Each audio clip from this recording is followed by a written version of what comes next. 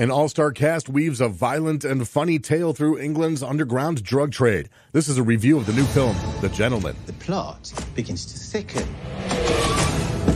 Now, I can't be specific about the heroes and zeros, but our protagonist is a hungry animal.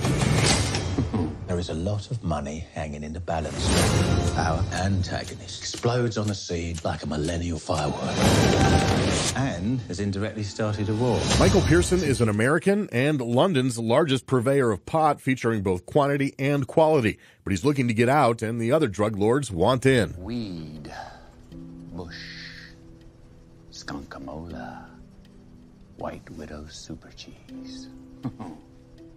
it's the new gold rush. This is the thin end of a very fat wedge, sir. If it's such a fat wedge, why don't you keep it? See, I've developed a reputation as a man who came up the hard way.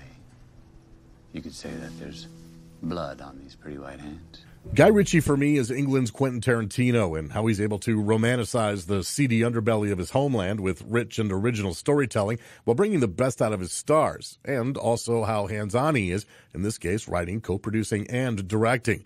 Matthew McConaughey is right at home as the pot dealing Pearson and feeling righteous when pointing out what he sells leads to a cool buzz rather than addiction and overdoses. Charlie Hunnam is Raymond, probably the most low key right hand man in the business.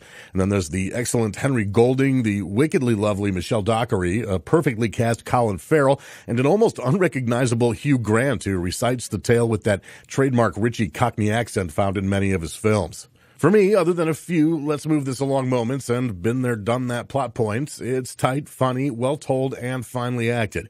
And for that, I give the gentlemen four stars out of five on the Rob rating scale because, like many things, it's easy to get in, but tough to get out. I'm Rob LaFrance, and I'll see you at the concession stand.